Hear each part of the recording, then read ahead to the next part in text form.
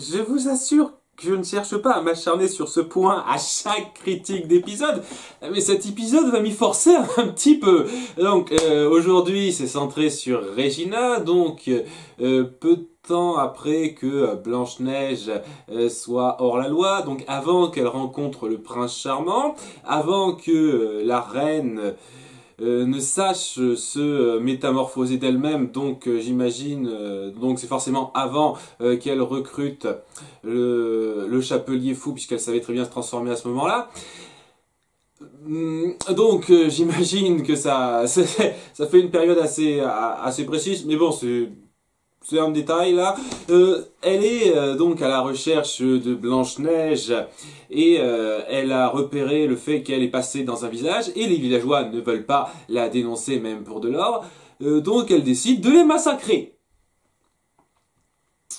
méchant récupérable. Et, malgré ça, elle se dit Oh mon Dieu, comment se fait-il qu'il la considère comme la gentille et moi comme la méchante? Je ne veux pas être vue comme méchante. Ils verront, je, deviendrai une gentille reine une fois que ce sera réglé avec Blanche-Neige. Et euh, pour trouver Blanche-Neige, étant donné qu'elle ne, ne, passe pas inaperçue comme elle est, elle décide de se, euh, de se transformer, de, de, prendre une autre apparence, mais apparemment c'est un sort super compliqué à manipuler maintenant, et euh, donc étant donné qu'elle veut que ce soit fait vite, elle demande à Rumpelstiltskin de le faire, en échange de ne plus faire de commerce avec le roi George. Donc, c'était, je sais pas trop quand, c'était avant l'histoire des géants, euh, ou alors c'était, l'histoire des géants c'était encore avant et puis ça s'est renfloué et, cette histoire là ça s'est fait avant l'histoire avec le roi Midas. À nouveau euh, j'ai du mal à, situer ça par rapport aux, nombreux événements qui se sont passés par rapport à ce qui a été dit mais voilà en échange de plus faire commerce, commerce avec le roi George parce qu'il veut qu'il fasse faillite parce que j'imagine, euh, il a prévu que ça amènerait à ce que euh, James se fasse tuer et soit remplacé par David, et etc., etc. Euh, il décide donc de la transformer. Seulement, étant donné que c'est lui qui le fait, elle ne pourra pas se détransformer et elle n'aura pas sa magie. Voilà, elle décide quand même de le faire pour pouvoir prendre Blanche-Neige par surprise. En se baladant dans, dans les rues du royaume, elle remarque que tout le monde la méprise, méprise la reine Regina, et elle est vachement discrète quand elle dit arrêtez ça, gna gna gna, ah mais vous ne comprenez pas, c'est moi la reine, alors que ah, tu sais que t'as une autre, t'as notre visage, Regina. Qu'est-ce que, tu fous là? Et mais euh, donc elle, se fait euh, capturer par euh, les soldats qui s'apprêtent à, la à la décapiter sans, sans, jugement, sans quoi que ce soit, comme ça rapidement, mais elle se fait sauver par Blanche-Neige. Blanche-Neige avec qui elle se voit forcée d'avoir une petite discussion et où euh, elle finit par être légèrement touchée par euh, sa vision des choses, le fait que sa mère euh, lui a appris à être, à avoir la bonté en elle, et l'autre personne qui lui a appris à avoir la bonté, c'était Regina, la, première fois qu'elles se sont rencontrées, quand elle a décidé de sauver sa vie à cheval. Elle se dit, elle, se dit que oui, malgré toutes ces exactions, je suis, je serais prêt à pardonner ma mère. J'adorais que ma mère euh, vienne euh, me dire euh, est-ce que tu pourrais m'accepter, est-ce qu'on pourrait faire la paix malgré ce que j'ai fait, etc., etc. donc et elle dit ouais, j'adorerais ça. Hein, je, bien entendu, c'est pas près d'arriver, mais j'adorerais ça. C'est là que Regina se sent son cœur légèrement fondre et, envisage la possibilité de peut-être parvenir à, une réconciliation. Et bien entendu, j'y crois trop. Hein. C'est pas comme si j'avais pas vu tout le reste de la série. mais c'est à ce moment-là, pile poil, euh, que euh, Regina et Blanche-Neige euh, tombent sur le fameux village massacré. Et Oh, légèrement, légèrement contrarié par cette vision, Blanche-Neige dit ah, je retire ça en fait, non, je, je lui pardonnerai pas. Voilà, hein, donc, euh, donc apparemment, euh, c'était cette espèce de pensée impure qu'elle avait déjà avant, qu'elle a peur euh, que ça la consume, elle a, il a déjà eu droit avant et c'est un peu normal. Donc, donc vos conneries dans les épisodes précédents sur le fait, oh mon dieu, elle a osé avoir des pensées revanchardes et, de colère. mon dieu, ça, ça, c'est horrible, elle, est difficilement récupérable. c'est sa partie sur une voie descendante.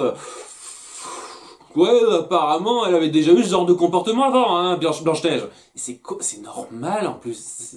Détail à con, quoi. C'est On, essaie de souligner des trucs qui qui méritent pas qu'on les souligne à ce point-là. C'est pour ça que. Mais oui, donc euh, elle est, elle, elle est assez énervée de voir ça. Euh, Regina euh, casse un peu sa couverture et donc Blanche Neige reconnaît que c'est elle. Elle, malgré tout, ne n'arrive pas à se résigner à la tuer, Regina, et donc elle parvient à se, à se barrer et elle décide que bon, s'ils veulent que je sois la méchante reine, je serai la méchante reine. Alors qu'elle l'était déjà avant, hein, c'est juste que c'est juste que je sais pas quoi. C'est tellement... Ouais, oh mon dieu, je vais faire massacrer un village parce qu'ils veulent pas me dire où est Blanche-Neige. Ah, c'est clair, on va clé... Comment se fait-il que les gens ne me voient pas, ne me voient pas comme une gentille, me traitent comme une méchante? Je ne comprends pas Il a fallu ce petit truc là pour, pour la faire se dire, ah ouais, c'est bon, ah, c'est foutu, hein, c'est pas la peine. ok, j'apprécie le concept de ce flashback. Euh, euh, sur un point et qui est, qui est très intéressant, c'est le fait que dès lors que Regina essaye, envisage le fait de, de laisser tomber euh, ça, de, euh, de dire ok j'arrête, je vais essayer de me réconcilier, de d'oublier ma, ma vengeance, etc., etc. Il y a toujours son passé qui lui revient en pleine gueule pour lui dire que non, c'est impossible. J'aime beaucoup ce concept-là qui est très bon et qui est, est j'ai envie de dire, assez juste par rapport à, à son état d'esprit. Je veux dire, je, je sais que j'ai dit 50, 50 fois maintenant, mais c'est une excellente méchante tragique. Et vraiment, si je me fie euh, vraiment qu'à ce que j'ai vu euh, dans cette saison 2, j'apprécie beaucoup le concept euh, d'une méchante qui malgré ses tentatives de, se racheter, d'essayer d'être mieux, euh, très rapidement ne peut pas le faire parce qu'il y a son passé qui la rattrape. Son passé qui est beaucoup, beaucoup, beaucoup, beaucoup, beaucoup trop chargé. Ce qui fait qu'au final, pour elle, il y a, dans, sa tête, il n'y a aucune option et, c'est tout à fait logique.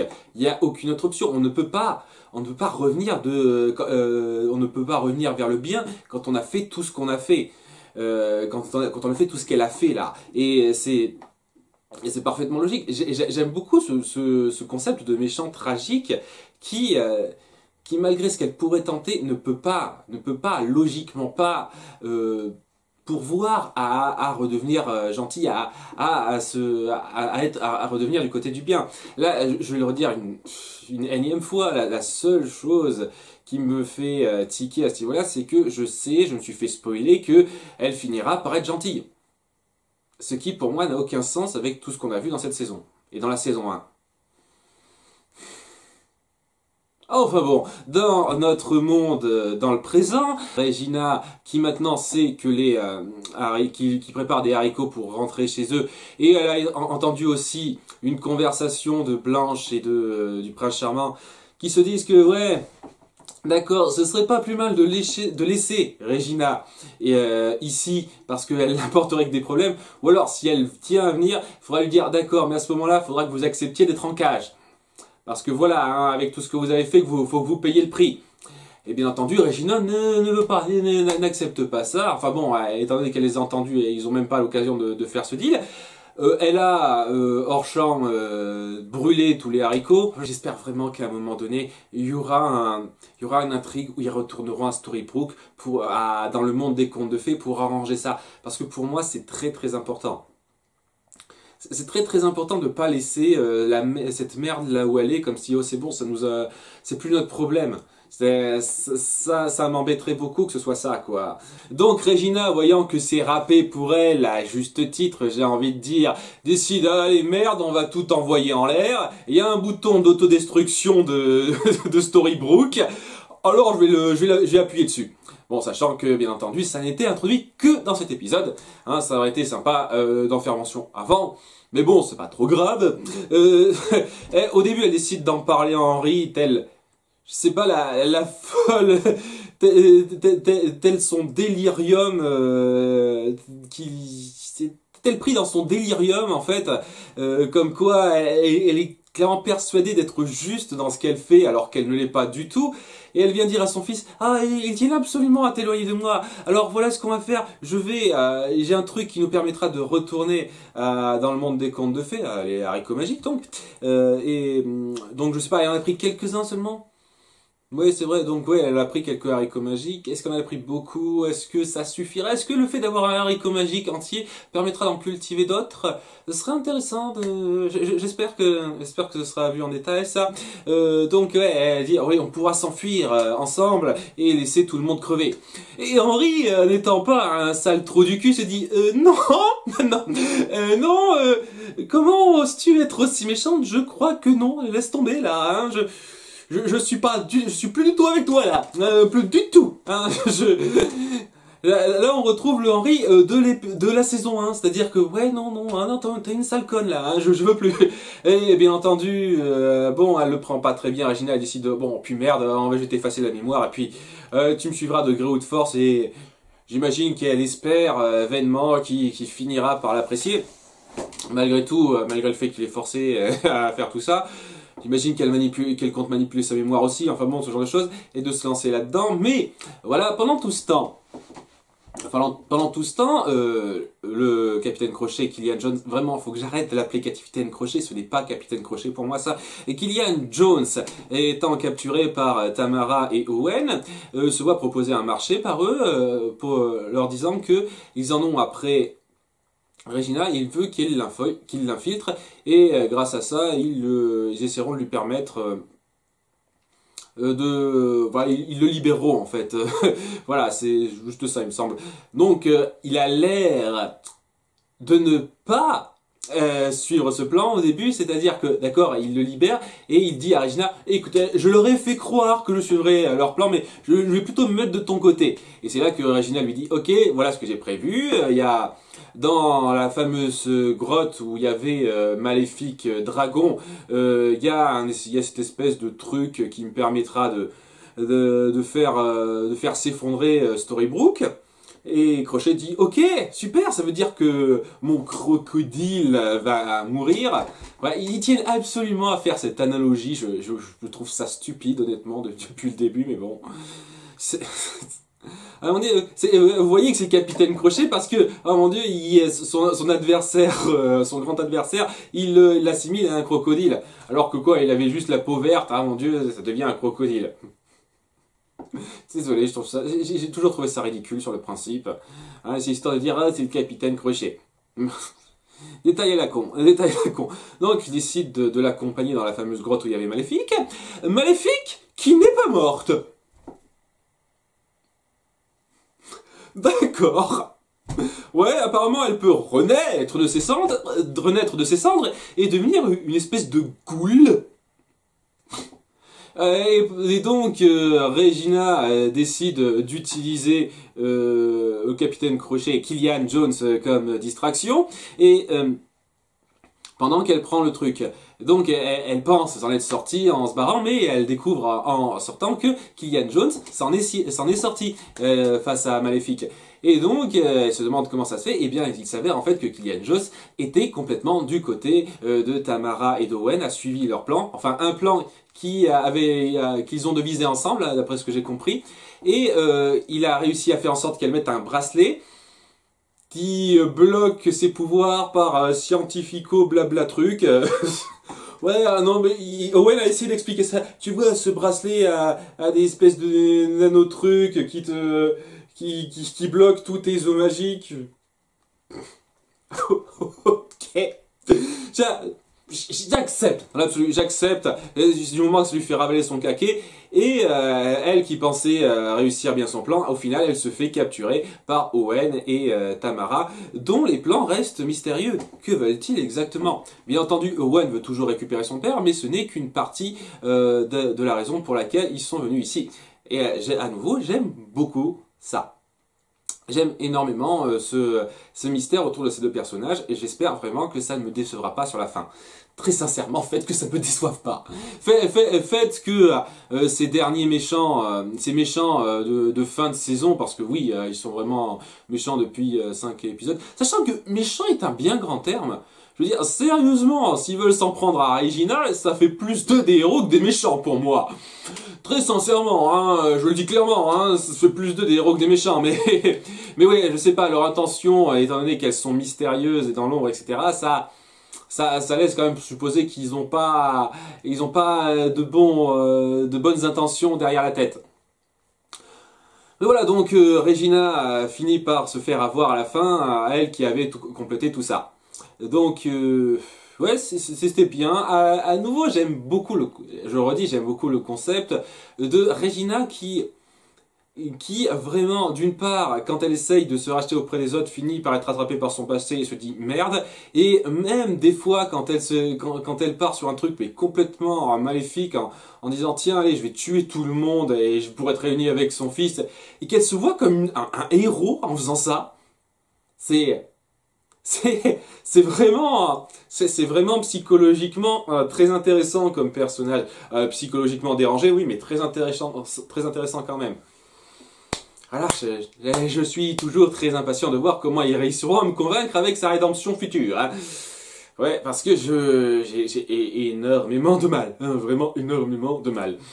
Voilà, donc pendant tout ça, il nous reste un petit truc à dire. Euh, donc Emma, qui est toujours en alerte euh, suite au mot de, de Pinocchio, euh, au dernier mot de Pinocchio avant de redevenir un petit garçon qui ne se souvient de rien et de ne plus participer à l'intrigue apparemment, euh, elle, se, elle, se, elle commence à avoir des doutes et la première personne sur laquelle elle, elle, elle a des soupçons, c'est Tamara, ce qui techniquement n'est pas illogique. Il y, a, il y a techniquement que deux personnes qui sont, qui sont arrivées en ville, qui, euh, qui sont euh, inconnus, qu'on peut pas vraiment euh, qu'on peut pas vraiment discerner, c'est Owen et Tamara. Donc que Tamara soit sa, première suspecte, c'est logique.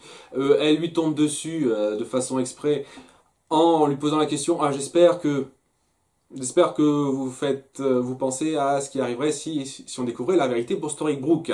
Et c'est là que euh, Tamara dit ne vous inquiétez pas, je euh, je ferai, je pense à vous, euh, je, ne vous trahirai pas, enfin un truc comme ça, je ne sais plus exactement ces mots exacts. Et c'est là que le don d'Emma fonctionne à nouveau. Il n'avait pas fonctionné pour Owen, mais il fonctionne pour Tamara. Elle se dit ah elle ment.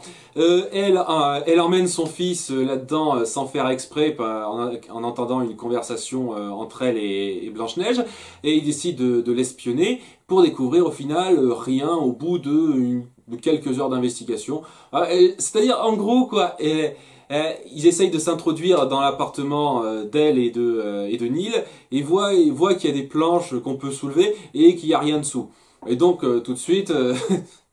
tout de suite, il dit non.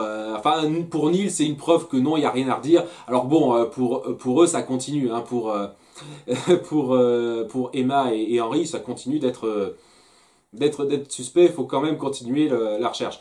Donc aussi intéressant, des développements intéressants. Je, suis impatient de voir euh, quand est-ce que quand est-ce que va se conclure, quand est-ce qu'elle va découvrir la vérité euh, sur Tamara. Est-ce que ce sera trop tard avant qu'elle fasse certaines choses ou pas? C'est très intéressant, très, intéressant euh, ce mystère-là. Honnêtement, je, je, je, je vous le dis, je suis le mystère autour de Tamara et Owen. Je je m'y attendais pas. Ces deux personnages, quand ils sont apparus, ils m'ont fait aucun effet, mais Maintenant qu'on crée ce mystère autour d'eux, je suis super pris dedans. J'espère vraiment que ce sera bien géré. Vraiment, s'il vous plaît, faites que ce soit bien géré. Sinon, pas grand chose d'autre à dire. C'est un bon épisode, à, du moment que on ne réfléchit pas au fait que Regina deviendra gentille plus tard. Mais c'est... Et je suis suffisamment acharné là-dessus. Je suis sûr que je trouverai une excuse pour m'acharner là-dessus l'épisode suivant. J'espère pas, s'il vous plaît. J'aimerais ne pas avoir euh, y, passer euh, chaque épisode. Mais dès lors qu'on sent que que la série ne part pas du tout là-dessus, ou du moins donne l'impression que, que ça n'a aucune chance de partir là-dessus, j'ai vraiment envie d'insister un peu, quoi. Parce que, parce que j'ai vu tellement de, messages qui disent à quel point, oh mon dieu, il, mon dieu quand Regina deviendra gentille, c'est incroyable, c'est une super personnage de gentille. Voilà. voilà ça fait combien de fois que je le répète, je sais plus. Voilà, mais vraiment sans prendre en compte ça, c'est un bon épisode très sympathique euh, qui euh, met en place pas mal de choses qui me laissent en haleine et je suis très impatient de voir la suite. À bientôt pour l'épisode suivant. Ciao